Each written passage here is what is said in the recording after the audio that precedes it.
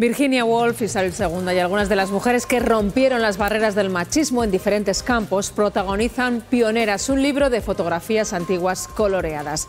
Con ellas nos vamos, les dejamos con jugones. Hasta mañana.